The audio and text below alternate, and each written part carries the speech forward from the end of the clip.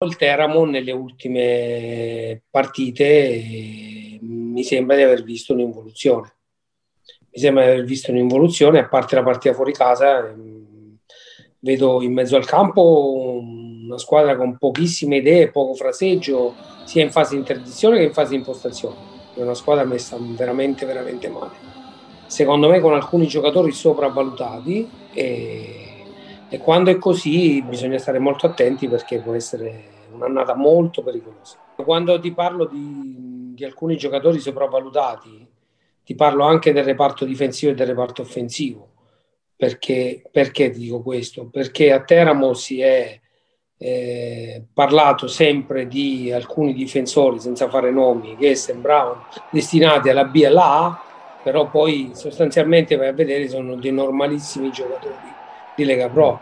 Lo stesso discorso vale davanti, dove ci sono buonissimi giocatori, perché io reputo Bernardotto un grandissimo attaccante per la categoria. Però quando in una squadra metti troppe scommesse e troppi giocatori che vengono da un'annata difficile, eh, le scommesse ne puoi fare una, due, non quattro, cinque, solo in un reparto. E davanti ci sono tante scommesse di giocatori che l'anno scorso non avevano fatto un buon campionato. Senti, ma, ma sul Ricchio, che mi dici? Sì se era un ragazzo 2004-2003 dicevo deve crescere in prima squadra e magari si ritagliava il suo spazio, ma essendo un 2006 deve andare altrove a cercare le sue fortune.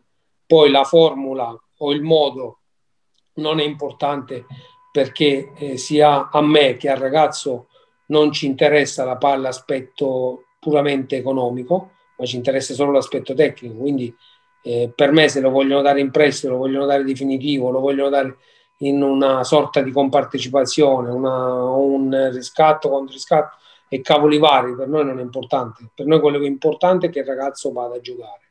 E oggi, per lui, secondo me, rimanere nel Teramo si sta perdendo un giocatore, si sta facendo un grosso danno. Il ragazzo deve andare via.